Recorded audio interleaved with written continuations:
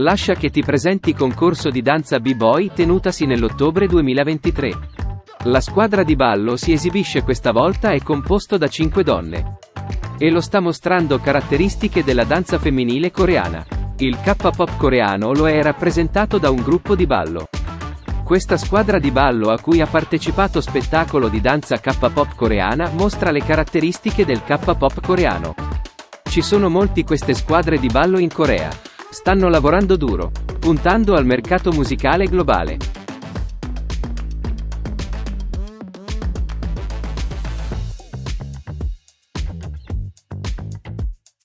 Hong ICK University Street è un grande quartiere commerciale di Seoul intorno all'Università di Hong ICK, alla stazione dell'Università di Hong ICK e stazione Sengsu. Onde in Onde Street è l'abbreviazione di Hong ICK University. Dopo l'apertura della stazione dell'Università di Hong ICK, la SEO GY Odong. I quartieri commerciali di Dong GY Odong e Seng Sudong o la scena indie nazionale che mantengono i loro caratteristici distretti commerciali.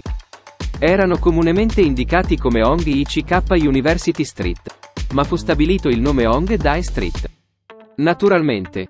In realtà, proprio come le abbreviazioni dei nomi universitari come la Konkuk University e Yua Woman University sono spesso usati come nomi di aree del centro.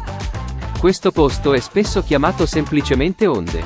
Altri famosi quartieri universitari di Seoul includono Daeak Row situato vicino alla stazione di Sinchon o stazione AIHWA. Quartiere commerciale dell'Università femminile di Sangshin. Distretto commerciale della stazione dell'Università nazionale di Seoul, Sharosu-jil.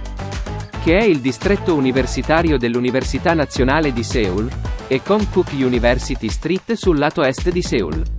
Hongdae Street le travolge tutte diventando una delle mete turistiche più rappresentative attrazioni in Corea oltre Seoul come quartiere universitario del centro. Considerando le sue dimensioni a partire dagli anni 20.